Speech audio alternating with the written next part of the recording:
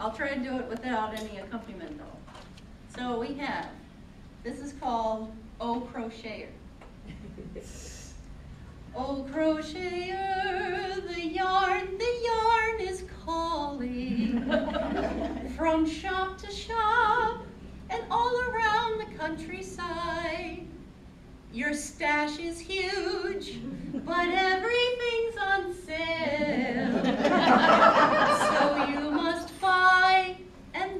and then go home and hide. Oh, but come ye back when your husband's on a business trip or find a brand new hiding place at home. Just one more skein for the perfect project. Oh crocheter, não.